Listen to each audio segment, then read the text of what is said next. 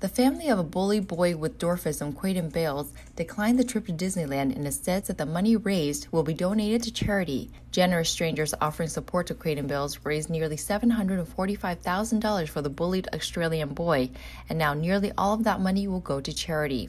Caden, a nine year old Aboriginal Australian with dwarfism, found himself in the public eye earlier this month after his mother posted a since deleted Facebook video of him in tears saying that he wanted to end his life over relentless bullying.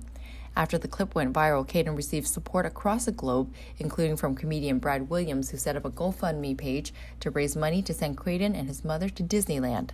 Though the crowdfunding page has raised $474,000, more than enough for flights, a hotel, food, and Disneyland tickets for two, Williams said Thursday that Caden and his family had kindly declined going to Disneyland.